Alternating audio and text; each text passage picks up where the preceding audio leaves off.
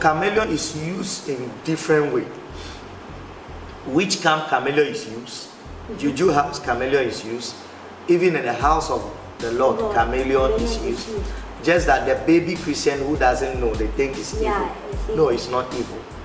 You pound chameleon, you can use it to do soap and then you buy a better one.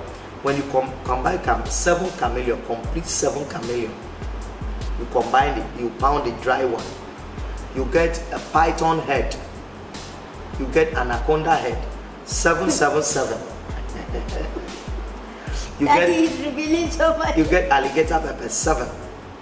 There's a perfume called Sosorobia perfume. yeah, one. Then you get a heart of a sheep or a heart of a cow. You combine all these things. You get vervain, the herb called vervain, Okay. or they will call it uh. Okay. You get that one. You add it to this one, pound it together. Then you get loss, loss, so-called Yeah, loss soap. That love soap. 1117. You pound it well. You keep it down. Once in a month, you bath it once in a month. For a year, you compete with despite in terms of money.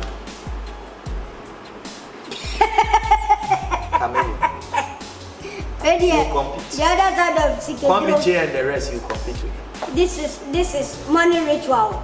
Serious money ritual. Yes. No blood. No blood. oh. None. Serious money ritual.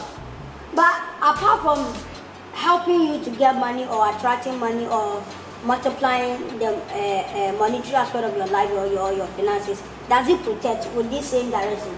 Does it give protection? No, yes, chameleon is self-protect. As I say, if you Okay. carry it along, it Okay. protect.